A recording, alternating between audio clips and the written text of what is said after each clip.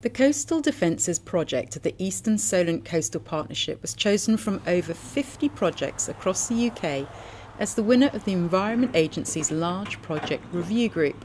The project, worth £44 million, is expected to take between 7 to 10 years to construct and covers one of the most vulnerable flood risk areas in Portsmouth, the coastline from Tipner to Milton Common. Project lead coastal engineer Alex Pryor explains why they've started the first phase at Anchorage Park. When we came to, to design the works, we looked at the various frontages along the full 8.4 kilometres uh, and we programmed the work uh, based upon the condition of the defences that were here and also the level of risk behind those defences.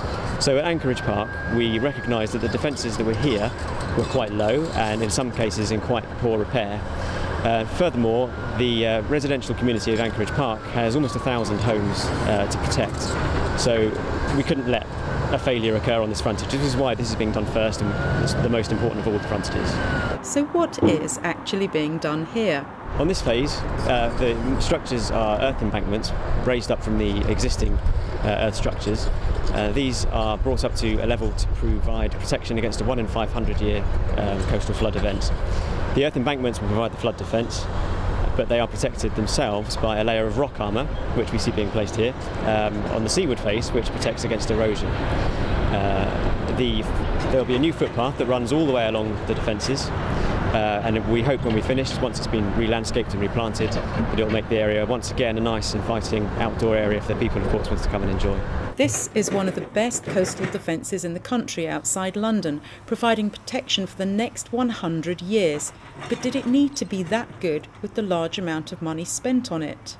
Originally, we were looking at a 1 in 200 uh, year event, but we found that for a, a fairly modest top up, um, we could actually increase the level from 1 in 200 to 1 in 500. So for us, it was a very cost effective decision. The first phase here at Anchorage Park is due to be completed in October. Coastal engineer Sarah Ball worked as the communication lead and shared what's next. So then we'll move on to the second stage of the, the wider project. Um, that will be taking place further down the Eastern Road at Great Salterns Quay and Milton Common, and we're looking at um, improving some of the flood defences in that area. And how will people find out more for the second phase?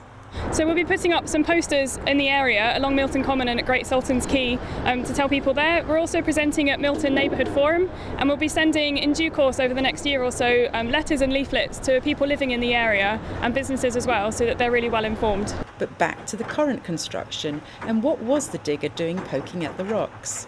The machines that we have here are fitted with global positioning uh, equipment, which means that the driver in the cab has got a model, a 3D model of the finished structure in the cab on the computer. Uh, and so he can, with his bucket, he can move the rocks around and level them to make sure that they are at the right place uh, the right level for the design. So we don't have to have somebody in the hole with a stick uh, measuring for him. And if you want to find out more about the defences, go to the Eastern Solent Coastal Partnership website, escp.org.uk. This is Shan Robins for Solent News Now.